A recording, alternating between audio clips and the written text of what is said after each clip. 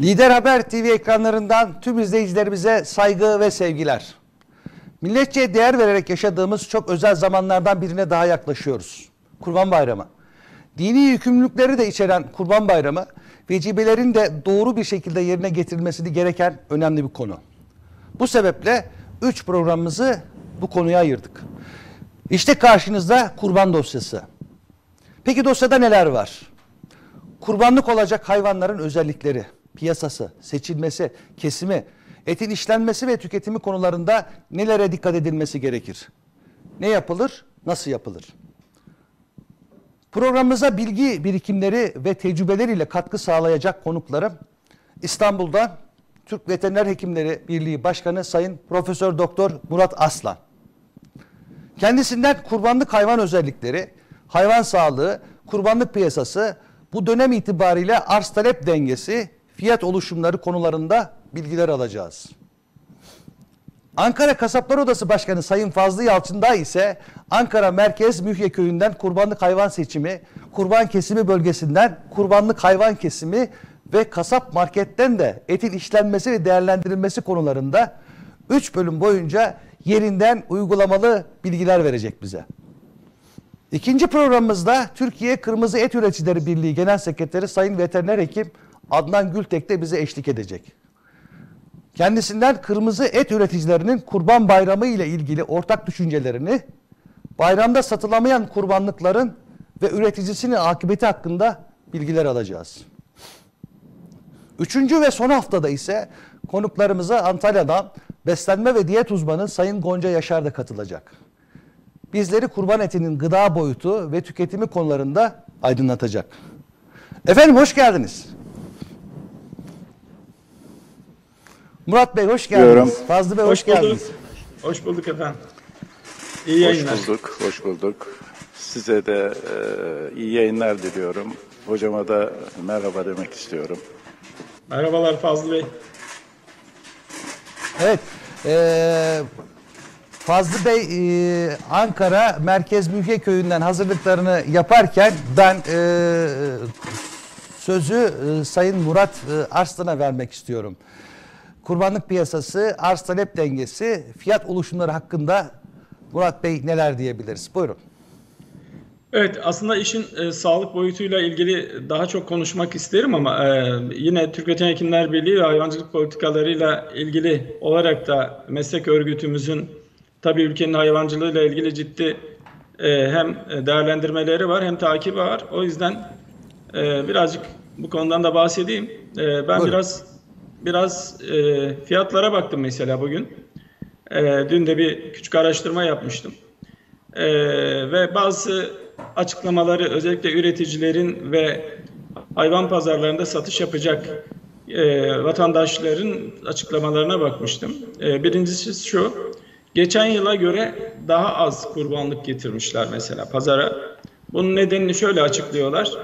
E, fiyatlar yüksek olduğu için e, biraz e, talep az olacak. Dolayısıyla arzı da ona göre biz e, daha düşük tuttuk. İkincisi de fiyatlar tabii. Ee, büyükbaşla ilgili e, 90 bin ile 180 bin arasında değişen fiyatlar konuşuluyor. Ee, elbette alım gücünü e, alım e, gücünü azaltacak bu e, bu süreçte. Küçük hayvanlar için de 8 ile e, 8 bin ile 18 bin, 9 bin ile 18 bin arasında fiyat aralıklarından bahsediliyor. Tabii kurban vecibesi önemli. E, ulaşabilmek önemli. E, ben bu vesileyle de kurban demişken bütün vatandaşlarımızın e, sağlıklı, huzurlu bir kurban geçirmesini dilerim.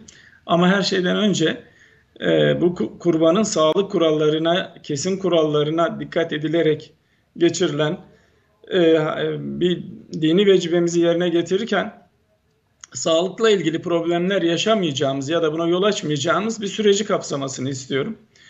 Ee, Değerlendirmemi şöyle de aslında kısaca tamamlamak istiyorum.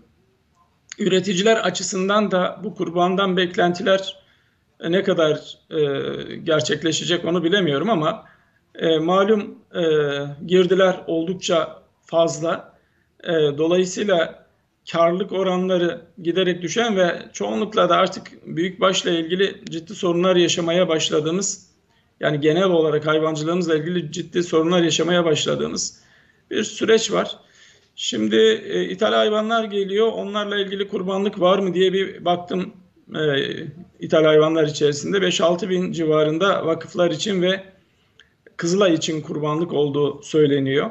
Ee, eğer böyleyse bu anlamda da bunu iyi değerlendirmek, e, iyi yorumlamak lazım. Çünkü yerli üreticinin e, bir senedir buna hazırlanan üreticinin e, yapacağı bir arzı e, etkileyecektir. Bu onları e, hem fiyat anlamında hem de e, elindeki ürünü verebilme anlamında e, etkileyecektir. O bakımdan bu olumlu olarak değerlendiriyorum bunu.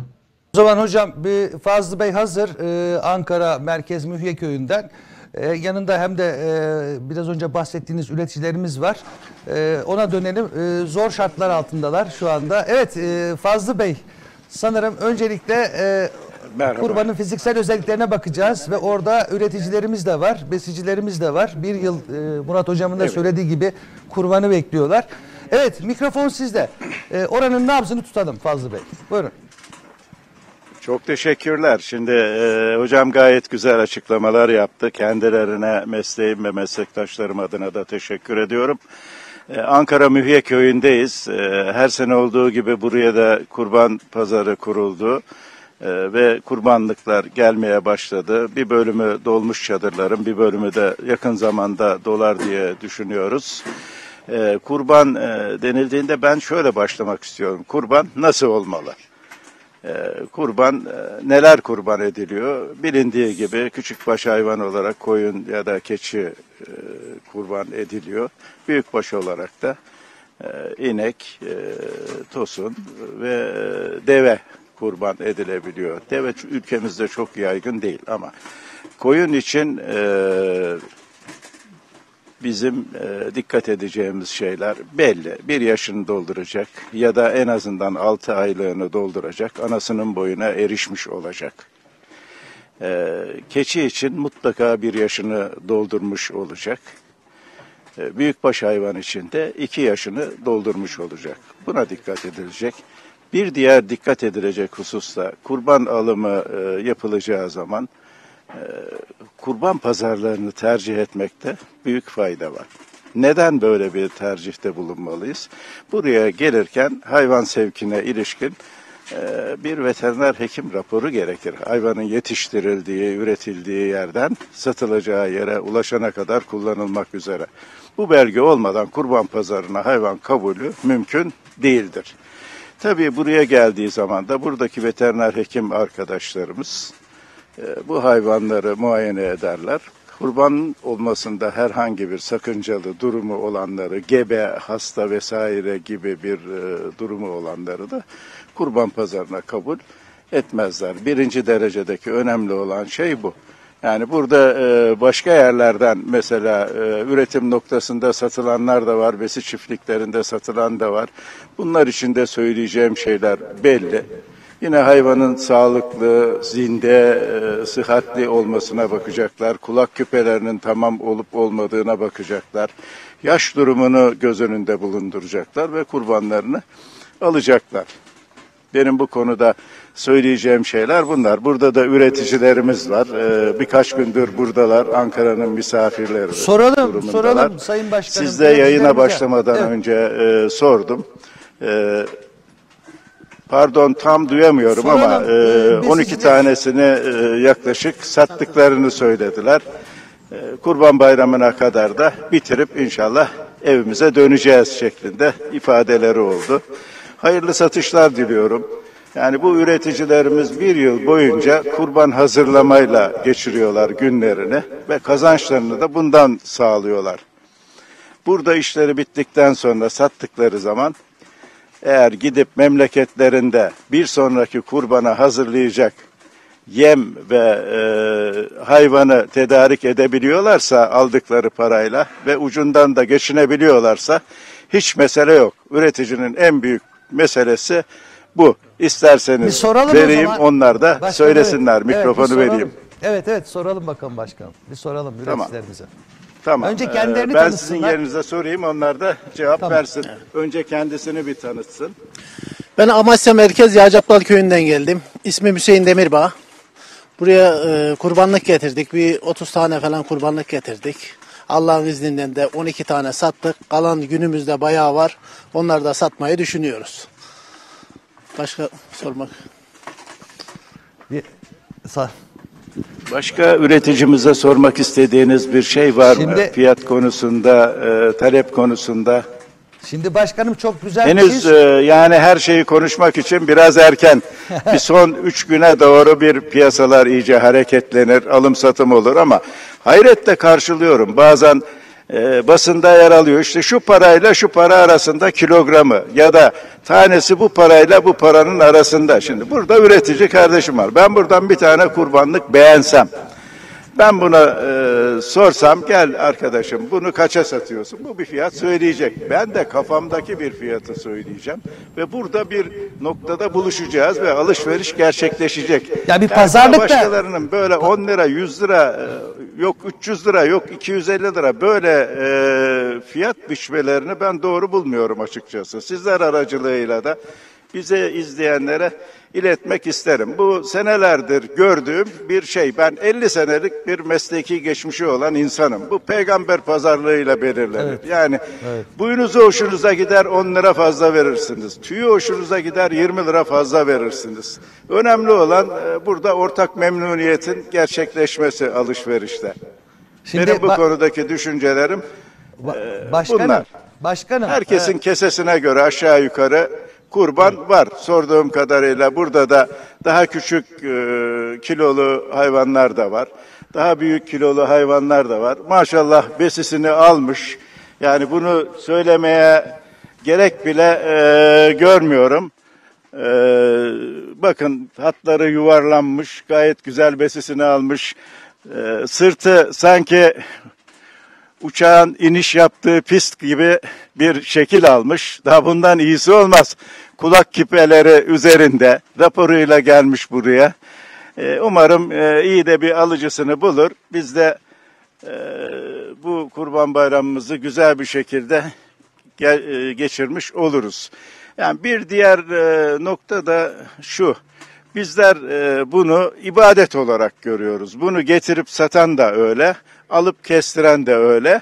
Alıp müşterisinin arzusuna şekillendiren de öyle, arzusuna göre şekillendiren de öyle görüyoruz ama bakıyoruz, üzülüyoruz da bir takım e, işletmeler bunu ibadet değil de ticaret olarak da görüyorlar. Bundan da üzüntü duyuyoruz. 12 kilogramlık koç diyor bilmem ne kadar para. Ya 12 kilogramdan koç olmaz. İşte burada üretici. Olsa olsa kuzu olur. Kuzunun da yani süt kuzusu olur. Bundan da kurban olmaz. Yani buna da bir e, devlet otoritesinin gel bakalım sen ne diyorsun arkadaş bunu diye sormasını bekliyoruz açıkçası. Benim bu konuda söyleyeceklerim bunlar. Evet. Başkanım şimdi biraz önce çok güzel bir şey söylediniz. Kurban pazarlarına gelen kurbanlıkların e, belirli bir aşamadan geçtiğini söylediniz. Dediniz ki e, Evet. bütün hayvanlar güzeldir. Çünkü bir yıl bekliyor bizim üreticimiz. Bugünü bekliyor, bu anı bekliyor. Şimdi e, ben buradan size şunu söylemek istiyorum. Çok güzel açıklamalarda bulundunuz. Kurbanlık hayvanla seçimiyle ilgili, hangi şartlara dair olduğuna e, dair olduğuyla ilgili. Ben sizden bir şey isteyeceğim. Çok fazla bir şey istemeyeceğim. Siz Fazlı Yalçındağ olarak o gün bugün oraya gittiniz ve kurbanlık seçeceksiniz. Şimdi bir simülasyon yapalım. Oradan bize bir kurbanlık seçer misiniz? Elbette tabii ama seçimden önce o kadar güzel şeyler gördüm ki burada bir e, şey var traktör tarzında yapılmış bir e, araç var hayvanların gübrelerini topluyor. Bir diğer belediye görevlimiz var baktım çadır araç aralarını ilaçlıyor. Umarım diğer belediyelerde de aynı e, konu yapılıyordur. Her şeyden önemlisi hem insan sağlığı hem hayvan sağlığı. Buyurun beraber seçelim. Gel arkadaşım sahibi o da bize eşlik etsin. Maşallah on numara bir hayvan. Bakıyoruz şimdi burada kulak küpesi var. Her iki kulağında da gayet güzel. Besisini almış, hatları yuvarlaklaşmış. Yani etini almış daha bunun üstüne koyacak, bunun üstüne söyleyecek bir şey e, yok. Yani bu eğer bizim kesemize uygunsa bunu alacağız. Gel arkadaşım bunu ne istiyorsun bakalım bir Buna fiyat iki- belirlemesin. 220 lira istiyorum. 220 bin lira istiyorsun. Ne kadar gelir bu hayvan kilogram Hayvanın olarak ca- canlı ağırlığı? da, e, Evet. 798 lira. Evet 800 kilograma yakın bir ağırlığı olan bir e, oldukça büyük bir e, tosun. E, Allah satın pazarı versin. E, istediği e, rakam bu. E, biz de bir şey söyleyelim ama tabii afaki olmasın. Burada bir alışveriş gerçekleşmeyecek ama e, bizdeki e, fiyatta ne olsun bunun istediğinin hani hiçbir şey bilmiyorsan yarısını ver derler ya ona da utanırım ben 150 bin lira gibi fiyat teklif edeyim. 185 lira olur. 185 lira olur. Hele şunu bir güzel söyle de 185 bir daha dinleyelim. Sen benim dediğime 185. bir adım daha yaklaş. Benim gönlüm senden yana. Başkanım, 185 lira olur o da size. Yok olmaz. 185 Olmaz. lira. Olmaz. Olmaz. Gel bunu 170'te bağlayalım. 170 olmaz başkanım. Olsun. Hadi Olmaz, olsun olmaz. diyelim. Olsun diyelim. Hayrını Hadi gör. olsun, hayırlı Hadi. olsun. Bakın işte pazarlık bu. Alışveriş bu. Yani asıl olan da bu. Bunun başka bir şekli, tavrı yok. Biraz önce de söyledim. Hatları yuvarlanmış gayet güzel. Buradaki hayvanların hepsi özenle beslenmiş. Bakın bir hayvana daha gidiyoruz. Ondan bir miktar daha e, küçük yapıda bir hayvan. Evet. Hepsi böyle. Gayet güzel beslenmiş. Biraz daha ileriye gidelim isterseniz. Daha küçük hayvanlar var. Onları da gösterelim e, size. Buyurun onları da görelim beraber. Ya umarım her e, kurban pazarı böyle titiz ve temiz bir şekilde hizmet verir. Evet, burada da daha küçük yapıda hayvanlar var. Mesela onu da soralım. Bu satıldı başkanım. Satıldı. Kaça satıldı? Bunu 100 bin liraya verdim. 100 bin liraya verdin. Ne kadar gelir? Bakın yani burada bir hayvan. Bu da 100 bin lira. Canlısı 330 falan. Bu e, kaç kişi için uygun olur sence? Bunu 3 kişi alıyor. 3 kişi alıyor. 4 kişiye de olabilir. İşte bu. Yani ortaya çıkan rakam aşağı yukarı 25 bin lira civarında, 30 bin lira civarında bir rakam ortaya çıkıyor. Hisse başına büyükbaş hayvanda. Başkanım. Daha aşağı olan da vardır. Tabii bu cinsine, cinsiyetine, ırkına e, bağlı olarak daha aşağı olur, daha yukarı olur. Mesela şunu Başkanım. sorayım. Başkanım Bunun ne kadardır? 95 arası gidiyor. Kaç? 85-90 arası. 85-90 bin lira arasında diyor. Bunu bize herhalde 75 bin liraya da verir. Bu şekilde de hayvanımız var. Bu da gayet güzel yani kendine göre e, alan kurban sahibini memnun edecek bir yapıda hayvanımız. Ee, Başkanım, bu e, kurbanlık hayvanların beslenmesiyle ilgili bir e, takım düşünceler var, bir takım e, sıkıntılar var. Duyuyoruz işte küspeyle beslenirse şöyle olur, işte e, kesif yemle beslenirse böyle olur, işte arpa yemle böyle olur. Bu konuda da sizin fikrinizi almak istiyorum. Sonra siz dışarı çıkın, e, ben de e, Murat Bey'e bağlanayım. Ona da hayvan sağlığıyla ilgili birkaç soru soracağım. Buyurun. Tabii. e, şimdi besi yemi üretme açısından sanıyorum e, yanlış hatırlamıyorsam Ülkü Bey'in e, bana söylediği kadarıyla dü- e, Avrupa'da ikinci sıraya geliyoruz. Yani e, besi yemi üretme sanayimiz de oldukça gelişmiş bir durumda. Şimdi bu hayvanlar genelde işte bu kurban döneminden sonra memleketlerine gittiğinde bu üretici arkadaşlarımız pazarlardan kendilerine uygun hayvanları toplarlar. Alır almaz bunları bu besi yemiyle beslemek diye bir şey zaten söz konusu değil. Bir miktarda yayılması lazım bu hayvanın. Yani doğal olarak beslenmesi lazım. Zaten önümüzde yaz ne zamana kadar bu e, tarlaya araziye kar düşene kadar bu hayvan yayılır. Ondan sonra da kurbana doğru besiye alınır. Üreticimizin uygun gördüğü e, yem takviyesi, arpa takviyesiyle, samanıyla, ne bileyim e, daha başka besleme şeyleri var, e, silajla. Bunlarla bir e, karışım elde edilir ve güzel bir şekilde de beslenir. Şimdi anda eskisi zaten- gibi öyle yoğun bir küspeyle besleme diye bir Yok, metodun yok, yok. olduğunu zannetmiyorum Şu anda açıkçası. zaten hayvanlarımız yayılımda başkanım. Evet. Şu anda da orada gelecek seneye e, gelecek hayvanlar da yayılımdaymış. evet, Bakın şu anda örnek yayılım. bir üreticimiz bu. bu hayvanları pazara sürerken gelecek sene için hayvanlarını da almış. Kendisini de yürekten kutluyorum. Olması gereken de bu. Ne dövizde bunun şeysi var, ne e, bankada faizde değerlendirmede var.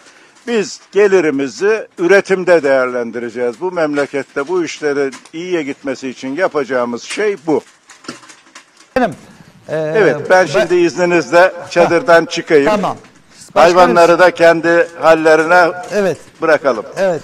Ben e, e, Murat Bey'e dönmek istiyorum. Murat Bey, e, programımızın başında hayvan sağlığıyla ilgili konuşmak isterim demiştiniz. Evet, e, zaten e, bu tanıtımdan sonra Fazlı Başkanımın oradaki hayvan seçiminden sonra sormak istediğim soruydu bu aslında size. Çünkü bu kurban pazarlarındaki hayvan sağlığı da önemli ve oradaki tüketici açısından da hayvan hastalıkları açısından da tüketim anlamında da hayvan sağlığı önemli. Bu konuda veteriner hekim arkadaşlarımız yoğun çalışıyorlar, çalışacaklar bu süreçte. Bu konuda sizin bilgilerinize e, almak istiyorum Sayın e, Hocam. Evet. Ee, biliyorsunuz her yıl bir kurban e, genelgesi yayınlanır. Kur- Kurban işleriyle ilgili bir genelge yayınlanır. 2024 yılında da bu genelge yayınlandı. Genelgeye göre şu ana kadar yapılan işler e, hayvanların sağlık raporlarının ilgili yani geldiği bölgelerdeki sağlık la- raporlarının düzenlenmesi, hayvanların uygun şekilde e, transportu, bu sırada da bazı kontroller aslında gerekiyor. Daha sonra da kurban satış yerlerine gelmesi. Şu andan itibaren hayvanlar kurban satış yerlerinde. Buradan itibaren de aslında e, çok dikkatli olmak gerekiyor. Şöyle ki Türkiye'nin her tarafından farklı coğrafik bölgelerden e, kurbanlar bir araya geliyor. Dolayısıyla e, eğer varsa bir bölgede bir hastalık bunun bir başka bölgeye taşınması, kurban sonrasında da taşınmasıyla ilgili riskler var. E, bunların e, dikkatle aslında denetim altında tutulması gerekiyor. Söylediğiniz gibi hem resmi ve veteriner hekimler alanda var hem de e, kurban komisyonlarının işbirliği, veteriner hekim odalarıyla yaptığı işbirliği sonrasında görevlendirilen veteriner hekimler var alanda. E, veteriner hekimler şöyle iki ayrı görev e, yapacaklardır burada. Hem e, hastalık açısından hayvanların kontrol, denetim altında tutulması gerektiğinde e, ilgili kurumlara bilgi verilmesi. Hem de aslında vatandaşlarımız da şöyle yönlendirebiliriz.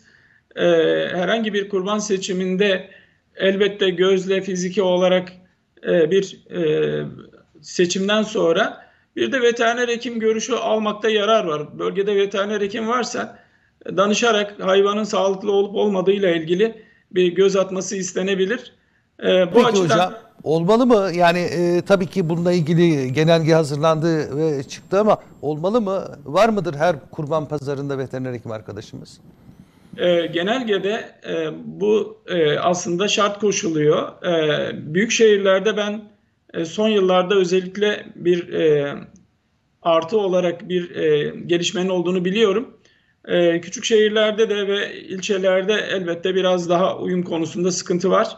Ama e, bunun her şeyden önce e, sadece Kurban Bayramı'na ilişkin bir süreci kapsamadığını, buraya gelecek hastalıklar o bölgeyle ilgili ve buradan diğer e, bölgelere gidecek, kurbandan sonra gidecek hastalıkların taşınmasıyla ilgili ciddi bir durum olduğunu düşünüyorum.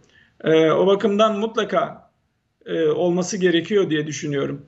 Özellikle biliyorsunuz kene mevsiminde keneler şu sıralar maalesef yine e, çeşitli sorunlara yol açıyor. E, bu açıdan bu açıdan mutlaka denetlenmesi gerekiyor. Yine şapla ilgili belli duyarlılıklarımız var. Zaman zaman ülkemizde görülüyor. Bununla ilgili e, özellikle Trakya bölgesi şaptan hariç e, burada özel önlemler alınıyor. Bunların göz önünde bulundurulması gerekiyor. Ben e, kurbanın e, biz bir ülke olarak, toplum olarak şöyle bir şeyimiz vardır. Hemen ilk günde bitirelim bu işi. Kurbanımızı alalım, keselim. E, sonrasında da işte eş dosta paylaştıralım. E, ihtiyacı olanlara paylaştıralım. Ama bu e, kalabalık ve bu ilk günkü e, e, büyük kalabalık içerisinde, karmaşa içerisinde bazı şeyler atlanabiliyor. Biraz önce söylediğim Kaçırabiliriz. Evet. Bazı şeyler gözden kaçmamalı. Evet. O yüzden bunun mutlaka üç güne yayılması gerekir. Yani aslında sağlık için çok planlı bir kesim takvimi de uygulanmalı. Bunu bayramın birinci, ikinci, üçüncü gününe yayacak şekilde randevuyla çalışmak konusunda mutlaka hem Kasaplar Odası hem bu konuyla ilgili e, devlet kurumları e, ciddi e, bilgilendirme yapmaları gerekiyor topluma. Yani biz asıl burada biraz da bilgilendirme ile ilgili zannediyorum eksik kalıyoruz. Evet bir genelge yayınlanıyor ama bu genelgenin içeriğiyle ilgili ilgili taraflar ve vatandaşlar mutlaka bilgilendirilmeli. E, belki kamu spotları yapılıyor zaman zaman ama e, şu da yapılabilir. Kurban e, satış yerlerinde e, vatandaşlar e, bilgilendirilebilir. Ee, burada e, çok önemli konuya değindiniz e, hocam. E, sonuç itibariyle tabii ki bu e, hayvanların hepsi e, sertifikalı e, ve hepsinin e, belgesi var. E, sağlık koşulları yerinde ama e, bir ay boyunca bu hayvanlarımız e, biliyorsunuz pazarlarda kalacak ve buranın hijyen durumu da sağlık durumu da önemli olduğu için e, kurban alan insanlarımız yani evine o, o arada da bu kene gibi diğer işte zararlılar işte şap gibi hastalıklar baş gösterebilir ve bununla ilgili de gerekli kontrolleri yaptırmalı ve buna göre kurbanlık seçimi yapmalı diyoruz. Altını çiziyoruz. Doğru mudur? Size de teyit ettirmek istiyorum. Evet ayrıca şöyle e, belki teknik olarak e, çok e, kurban alanında yapılamayabilir ama şunu öneriyoruz. Biliyorsunuz e, bütün kurbanlıkların küpeleri var. Bu küpe numaralarını girerek Tarım Cebimde diye bir uygulama var e, bakanlığın. Oradan bu hayvanların kur, kurbanlık niteliklerine haiz olup olmadıklarını e, çok kolaylıkla kontrol edebilirler. E, gerekirse e, veteriner sağlık raporunu bile talep edebilir e, vatandaşlar. E, bu açıdan da bu açıdan kendilerini koruyabilirler. Aslında sadece kendilerini korumuyorlar bu yaptıklarıyla. Hem bir anlamda da bir e, vatandaş denetim yapmış oluyor. E, Görevini ben- yapmış oluyor bir nevi. Evet, görevini hocam. yapmış oluyor. Evet. Ve gerekirse bu konuda bir önlem alınmasına belki aracılık etmiş olur. Evet. Hocam programımızın sonunda e, son bir, bir görüş alacağım. E, ben Fazlı Bey'e e, sözü vermek istiyorum. Bekliyor bizi. E, Fazlı Başkanım herhalde hazır. E, çünkü e, naylonun içindeydi. Kurbanlıkları seçti. E, şimdi orası bayağı sıcak. Hayvanları da rahat bırakayım dedi. E, ona da birkaç soru sormak istiyorum. Çünkü e, dediğiniz gibi hocam e, üç güne dört güne yayılmalı bu kurban kesimi. E, aynı günde yaparız dersek büyük bir e, e, kaosa neden olabiliriz. E, hocam e, e, konuştu hocam biraz önce Fazlı Başkanım. E, şartları tek tek anlattı. Hayvan sağlığına değindi. Veteriner hekim arkadaşlarımızın e, kurban pazarlarındaki görevlerini değindi. Genelgeye değindi. Şimdi ben e, son olarak e, size şunu sormak istiyorum. E, dişi hayvan kurban yapıyoruz ya hocam. Dişi hayvanlarımızı, ineklerimizi kesiyoruz ya. Yani damızlıklarımızı kesiyoruz. Bu konu hakkında bilgi e, bilgi vermenizi isteyeceğim. Ayrıca e, Kasaplar Fe- Federasyonu olarak e, 4 günlük kurban bayramı sürecinde kurban kesimiyle ilgili bir planlama yapılıyor mu? Bunu soracağım. E, sonra sizin de katkılarınız olursa buyurun efendim. Tabii e, efendim şunu söyleyeceğim öncelikle dişi hayvan kesilir mi kesilmez mi? Zaman zaman bu tartışmaları basın yoluyla izliyoruz ama ben şimdiye kadar hiçbir kimsenin hayvanının eceliyle öldüğünü görmedim. Hayvan süt vermiyorsa, e, hayvan yavru yapamıyorsa, yapmıyorsa, kısırsa e, ne yapacak bu adam? Besleyecek ve bunu da kurbanlık olarak ya da başka amaçla et olarak pazarlayacak. Yani önemli olan burada e, üreme ve süt verme kabiliyeti olan hayvanların e, kesimini önlemek. Bunu da nasıl yaparsınız? Süte para verirsiniz. Sütten para kazanır üretici. Niye götürüp ineğini kessin para kazandığı şeyi? Bunun aslında da bu. Ben yıllar önce söyledim. Süt para edecek ki inek beslensin. İnek beslenecek ki dana olsun. Dana olacak ki et olsun. Biz bunu söyledik. Bu işe bir anayasa yazılacaksa bunun birinci maddesi bu olmalı. Bakın bu e, kurban e, bayramı birkaç tane meslek grubunu etkiliyor. Veteriner hekimlerimizi etkiliyor, üreticilerimizi etkiliyor, e, tüketicilerimizi etkiliyor. Kesici dediğimiz yani bizim mesleğimize bağlı hayvan kesen bir grubu etkiliyor.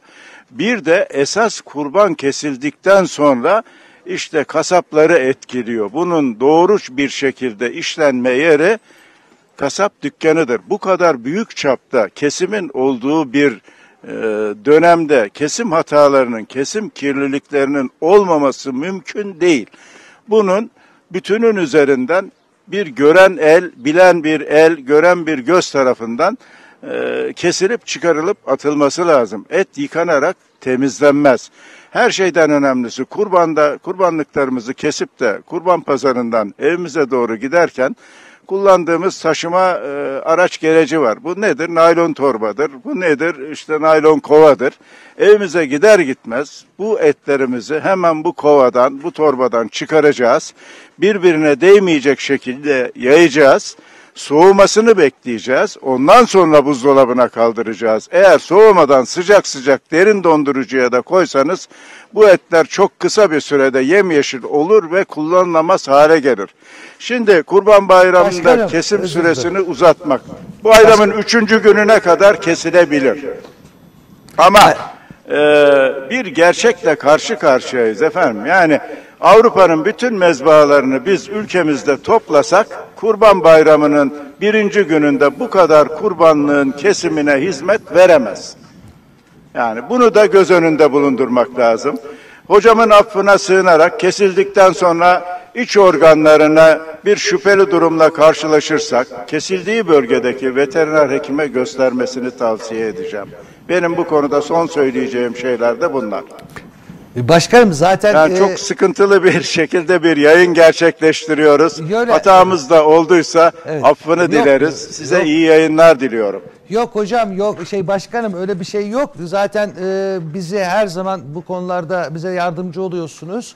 Destek oluyorsunuz. E, hangi ortamda olursa olsun, hangi şartlarda olursa olsun Sayın Fazlı Yalçın da e, hem bizlerin yardımcısı oluyor hem e, bizi izleyen izleyicilerimize yeterli gerekli bilgileri veriyor. Bu konuda biz teşekkür ederiz. E, zaten e, kurban kesimiyle ilgili Bu arada görüşlerimi de affınıza sığınırım. Bu Ee, arada görüşlerimi de Ankara Kasaplar Odası Başkanı olarak Ankara Kasapları adına veriyorum. Evet, Ee, evet. Şu anda federasyonda bir görevim yok biliyorsunuz. 21 seneye yakın yaptım. Şu anda başka arkadaşımız yapıyor.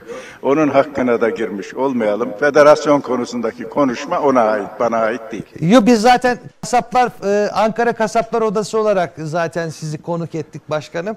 Siz Tamam. e, bu kas- Tamam. Kasaplar Federasyonu'nun kurucusunuz zaten. Kurucu üyesisiniz. E, Evet, doğru. Sizi, sizi hepimiz biliyoruz. E, o yüzden teşekkür ederiz.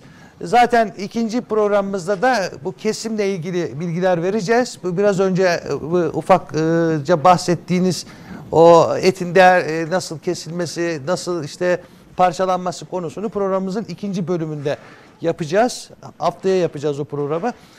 E, ben çok teşekkür ederim. İnşallah. Zahmetli bir yayın oldu. E, Ben teşekkür toprağı- ediyorum. Toprağın Sesi programı. Toprağın pardon sevgili izleyiciler. Toprağın Sesi programı.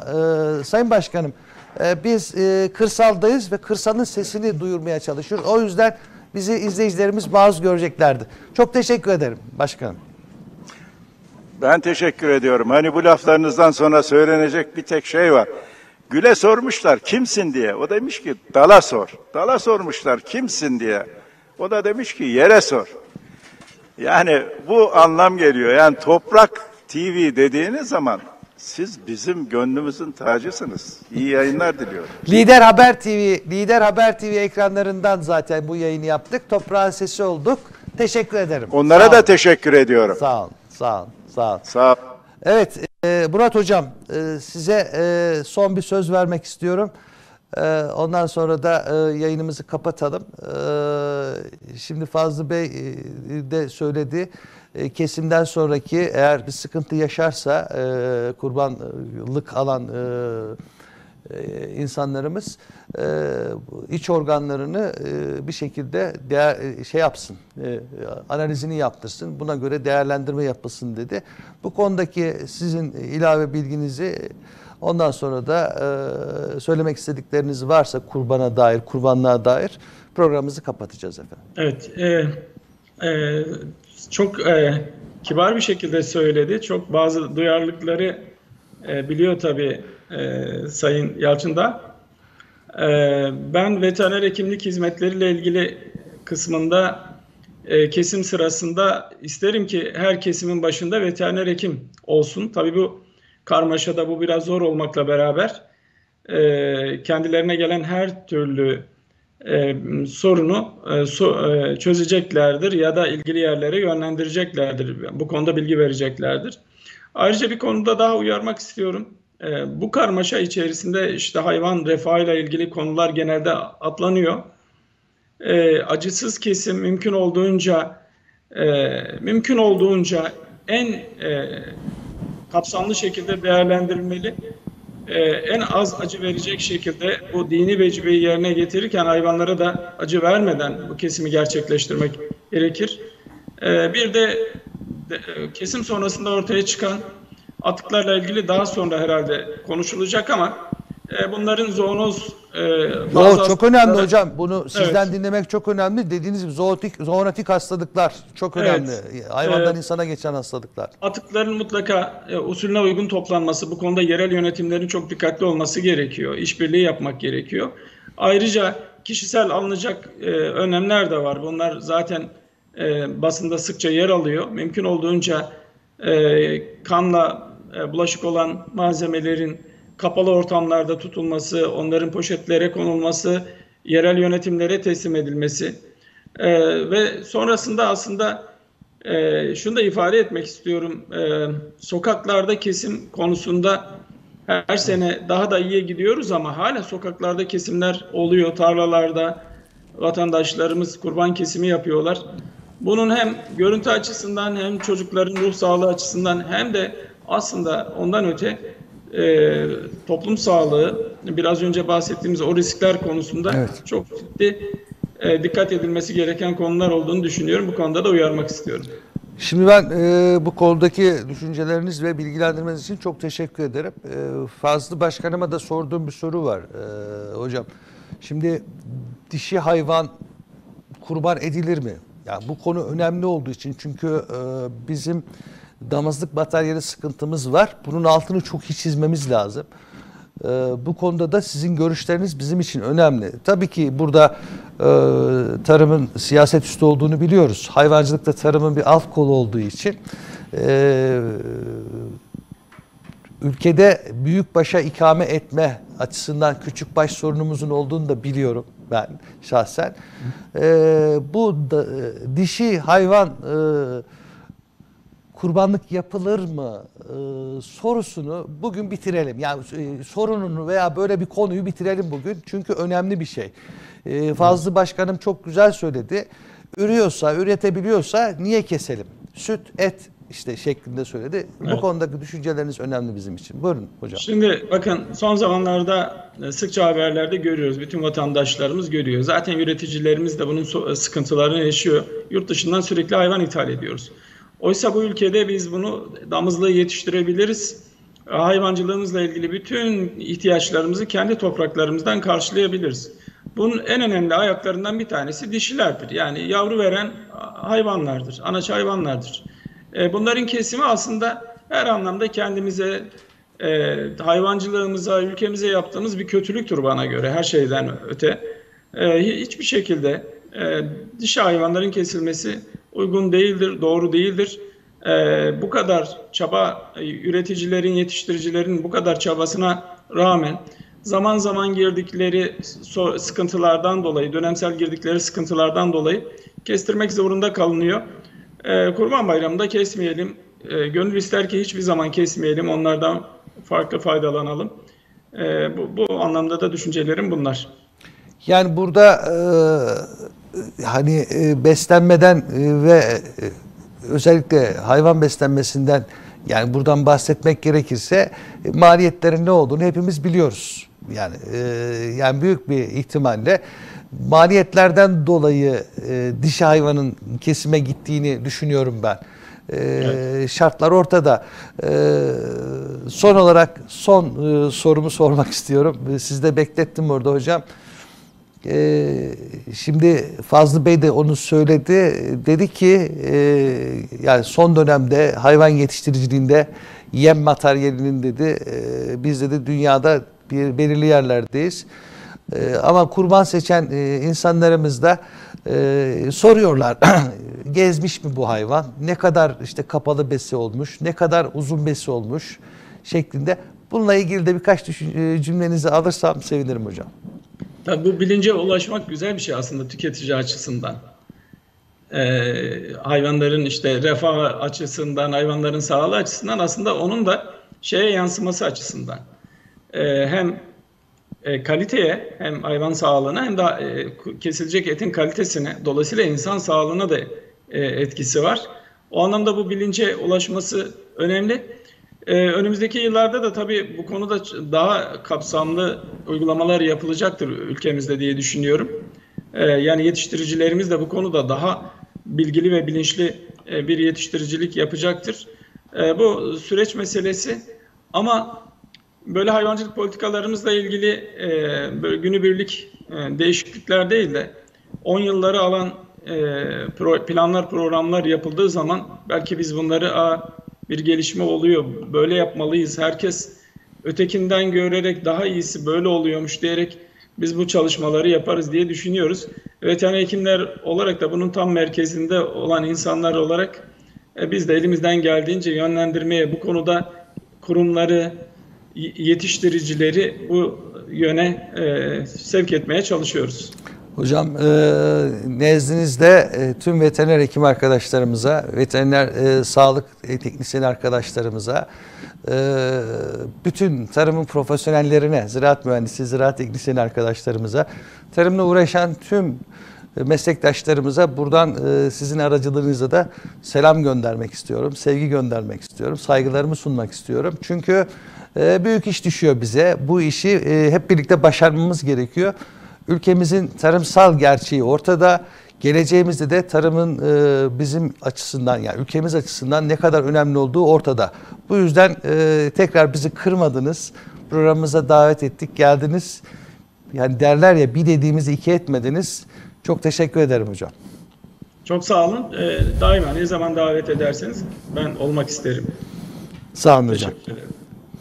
Evet sevgili izleyiciler kurban dosyasını açtık ve kurban dosyasının birinci bölümünü e, tamamladık. E, Burada e, maksadımız e, bu önemli e, günlerin, bu önemli anların vecibelerinin yerine getirilmesi konusunda üzerimize düşen görevi yapmaktı. E, Bu bölümde e, Sayın Fazlı Yalçın da ee, Oda Başkanımız, Kasaplar Odası Başkanımız e, kurbanlık hayvan seçimiyle ilgili genel bilgiler verdi. Hatta bizim için de bir kurbanlık seçti. Pazarlığını dahi yaptı. Ee, İstanbul'dan katılan konuğumuz e, Türk Veteriner Hekimleri e, Birliği Başkanı Sayın Profesör Doktor Murat Arslan hocamız da hayvan sağlığından tutun da piyasaya, arzına kadar, arz talep dengesine kadar e, önemli açıklamalarda bulundu. Bir dahaki programımızda hayvan kesimini yani kurbanlık hayvan kesimini yine canlı olarak e, yerinde olarak e, Sayın Ankara Kasaplar Odası Başkanımız Fazlı Yalçın Dağ'la birlikte yapacağız. E, Ve bize önümüzdeki programda e, Kırmızı Et Üret Türkiye Kırmızı Et Üreticileri Birliği Genel Sekreteri e, de e, yardımcı olacak. Programımıza bilgileri aktaracak. E, Evet, bugünlük bu kadar. E, Toprak senin özün, nasıl bakarsan öyle görür gözün. Haftaya görüşmek üzere efendim.